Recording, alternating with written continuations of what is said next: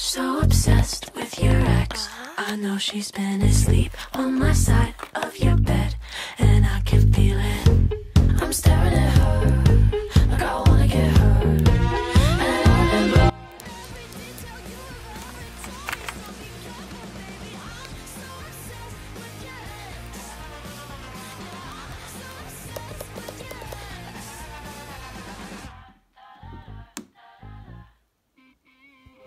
She's got those lips, she's got those hips,